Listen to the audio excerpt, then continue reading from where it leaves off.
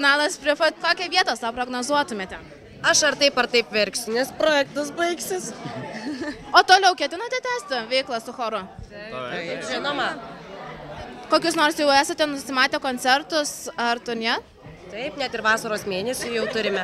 Mūsų generolas kūruoja šitus reikalus, bet sakė, kad busim užimti, tai mes vat, ir laukiam.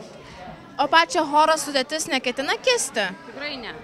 Jeigu neišeisit niekas, ne. Aš neskambinsiu, o jūs eisit kur? Ne. Šį vakarą pasirinkote du tikrai gana skirtingus kūrinius. Kodėl būtent taip nusprendėte? Kad išsiskirtumėm. Nebūt vienodiems. O kuriems pa, pats kuris kūrinys jums labiau patiko ir įvaizdis kuris? Man šitą labai įdomu. Kas yra? Aš nesuprantu. Man patik čia. Dabar. Įvaizdis pats gal lai- išlaikyti stengsies tokį. Ai. Aš mėgstu tai. Tuoj grįž mūsų mančiukas nieko.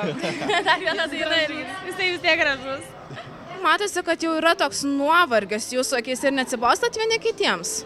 Vos neatsibostam, bet nuovargis tikrai yra. Ir, ir miego trūkumas, ir, ir, ir laisvalaikio trūkumas didžiulis. Ir šiandien valandos nusukimas labai paveikė mus. Paveikė mes autobuse pirmą kartą ne, ne, ne, nešokom, nedainavom, nekalbėjom, o, o beveik mėgojom.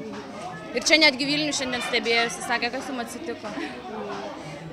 Bet vis dėlto, sak- sakot, kad ašaros bus, bet gal iš tiesų bus ir palengvėjimas, pagaliau baigėsi. Bus. Mane. Nu, vieniem bus, kitiem ne.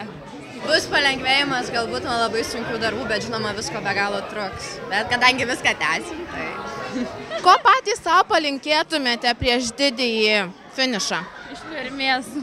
Labai daug stiprybės, ištvermės ir, dar susikaupimo labai. Ir pozityvaus nusteikimo, žinoma.